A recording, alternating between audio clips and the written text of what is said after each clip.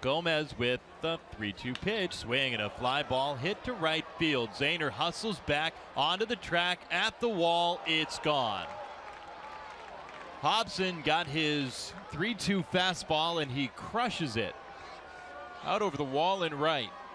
He circles the bases for the 10th time this year in just 45 games with the Richmond Flying Squirrels. And Richmond's got a 5 0 lead. Yeah, and seeing the reaction of Zack Zehner there in right field, he needed just maybe another two seconds worth of airtime before he could get there and make a leap at the wall because that ball didn't get over the wall by a ton. Saw a big bounce right after it.